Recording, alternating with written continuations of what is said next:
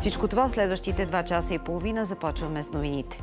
След като вчера главният прокурор беше изслушан пред Комисията по граждански свободи, правосъдие и вътрешни работи в Страсбург, днес той е планиран да говори пред Комисията по правни въпроси в парламента. Не е ясно дали той обаче ще дойде на това изслушване.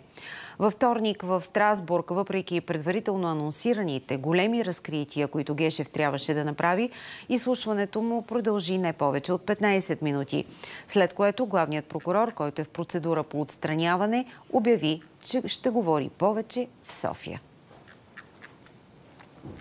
Както винаги, обсъждахме важни въпроси като правовата държава и върховенство на закона с мониторинговата група, въпроси като зловредното руско влияние, корупцията по високите етажи и всичко, което интересува нашите европейски партньори. Аз ще изчакам решението на президента Радев относно указа за моето отстраняване, ще изчакам решението на Конституционен съд и каквото имам да кажа, ще го кажа в България. Остраняването на главният прокурор предизвика и политически коментари.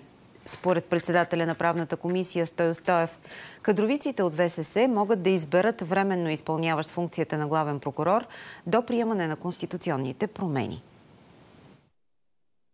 Назначението му беше политическо и уволнението му е политическо. Че устраняването му е, беше крайно време, закъсняло е, ако трябва да съм искрен, но е недостатъчно.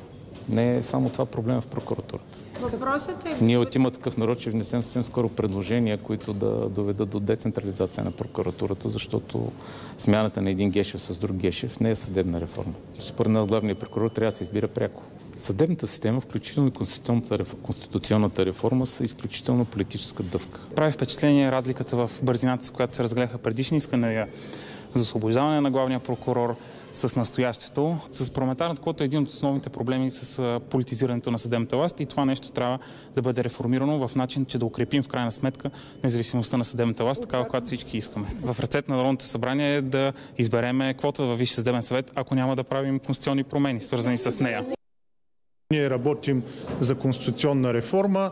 Активната страна сме ние в този процес. Знаете, че имаме наш проект за конституция и се опитваме с колегите от оформящото се подкрепа за промени в Конституцията да стигнем до общ проект, така че да можем да го предложим и приемем за цел да преочередим някои отношения по така наречения обществен договор.